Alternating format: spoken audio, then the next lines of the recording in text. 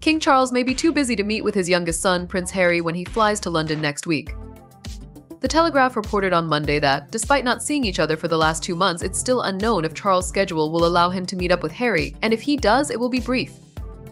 The outlet further commented that if he is able to, the king will make time for the California based royal, who will be in town to celebrate the 10th anniversary of the Invictus Games at St. Paul's Cathedral on May 8.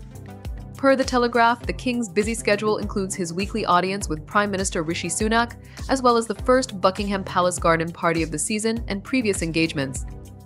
Harry, 39, will be returning to the UK for the first time since early February when he flew in shortly after the King announced his cancer diagnosis. On Feb. 10, Buckingham Palace revealed that the monarch, 75, was undergoing treatment for an unnamed cancer.